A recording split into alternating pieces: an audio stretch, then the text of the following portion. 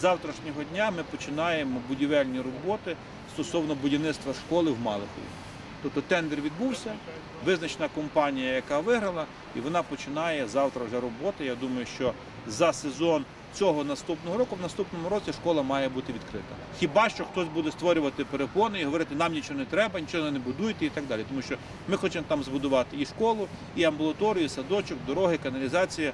Насправді надзвичайно великий пакет ми пропонуємо для Малахова, розуміючи відповідальність, але цього неможливо буде всього зробити в комплексі без рекультивації.